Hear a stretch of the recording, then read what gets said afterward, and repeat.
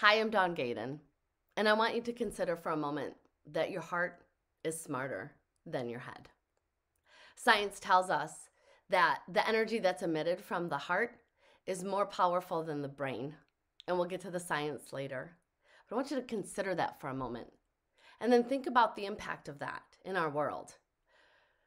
As a whole, unfortunately, we're a sick culture, devastated by illness, by war, mentally, physically, spiritually, and emotionally. We're, we're devastated.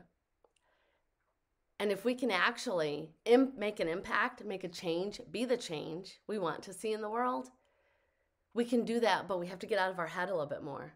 We have to get out of our head and tap into our heart. And then not only just tap into the heart power, just because the heart's bigger and emits more energy than the brain doesn't mean we, oh, let's just tap into the heart. What about connecting the two? So we begin to connect the brain and the heart power, the power of the two.